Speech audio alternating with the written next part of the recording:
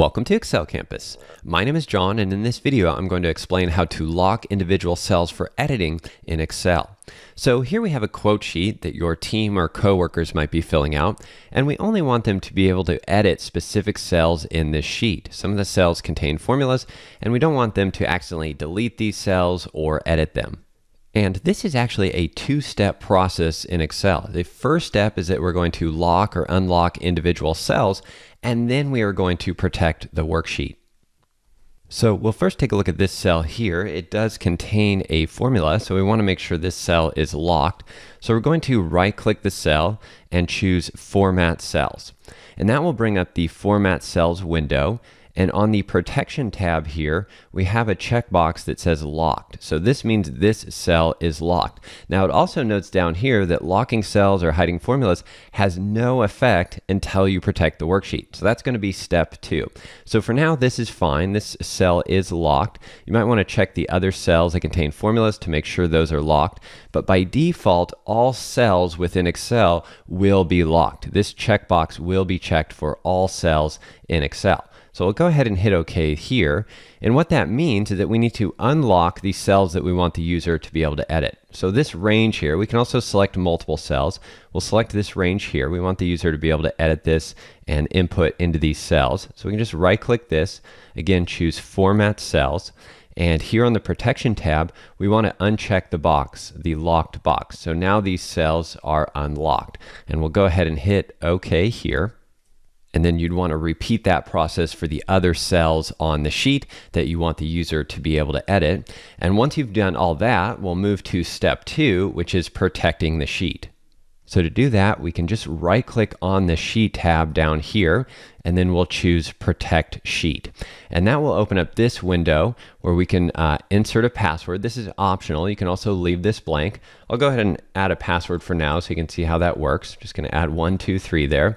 We want to leave this checked. This is to protect the worksheet. And then we have some options down here on what the user can do with this worksheet. Now, by default, these two top uh, check boxes here are checked, allows the user to select locked cells and also select the unlocked cells. So we'll just leave that as is for now, and we'll go ahead and hit OK. And then uh, because we entered a password, we're also going to be prompted to confirm our password and re-enter it. So just enter one, two, three again. You can make the password whatever you'd like and then hit OK. So the sheet is now protected. Uh, the unlocked cells we can still edit. So I can select this cell here. Maybe this should be 35 instead. I'll change that and hit enter. That all works. If I go over to this cell here that's locked and I try and edit that, I'll just uh, hit any key on the keyboard. You can see that the, we get a warning here that says the cell or chart you're trying to change is on a protected sheet. And then it gives you instructions on how to unprotect it and change it. So we can go ahead and hit OK there. And this will just let the user know that they cannot edit these locked cells. Now, when you do want to make changes to the sheet, you'll just unprotect it. So again, right click the sheet tab and go to unprotect sheet. Since we entered a password, we're going to be prompted for that password. If you leave the password field blank initially, then you will not see this box. But I'll go ahead and enter our password and hit OK. And now the uh, sheet is unprotected. And again, we can go here. Uh, we could edit this formula or edit this cell that contains a formula and do all kinds of changes to the sheet. If you're enjoying this video, please click that big red subscribe button below the video to subscribe to our channel, and also click the notification bell icon there to get notified when new videos are published.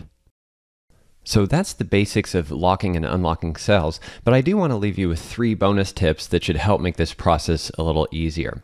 So the first is that we're going to uh, go down here, right click on the tab again, and protect sheet. And here in our options, we have this option to select locked cells. I'm going to uncheck this so the user will not be able to select the locked cells. Then go ahead and hit OK. Uh, this time I will not add a password, so we'll just leave that blank. We'll hit OK here. So the sheet is now protected, and if I try and uh, click this cell right here, select this cell, I can't select it. So this just makes it easier for the user to input data because they will only be able to select the cells that are unlocked. And so if I'm just going through this line here, I'm right arrowing, inputting data, or hitting tab on the keyboard, when I get to this cell here and I hit right arrow or tab, it now jumps down to the next unlock cell. So again, that just makes it a little easier for the user to input their data. They don't really need to see these cells or select these cells that contain the formulas anyway. And the sheet can also be protected and unprotected from the review tab on the ribbon up here. We can see it right here. So the sheet's currently protected and we can just click this button here to unprotect the sheet and then the button text will change back to protect sheet. And that leads to my next tip about the lock button. Uh, the lock button, we got to it from the right click menu here, going right click, format cells. Keyboard shortcut for this uh, window is Control 1 on the keyboard, but we can also get to this from the Home tab on the ribbon. So Home tab here, in this format dropdown, you'll see we have a lock cell button right here. So we can click this, and if we click that, that'll lock this cell. And again, we go Home tab, uh, Format Cells. We'll now see that that uh, button is enabled there. There's a gray box around it, and that lets us know that the cell is locked. Now we can also add this button to the Quick Access toolbar. So if I just right-click the button here and choose Add to Quick Access Toolbar, that will put the button right up here in my quick access toolbar. And again, when I select any cell, I can then see its locked or unlocked state. So I'll select this cell here. We can see that that's enabled. You can see kind of the dark green there means that cell is locked.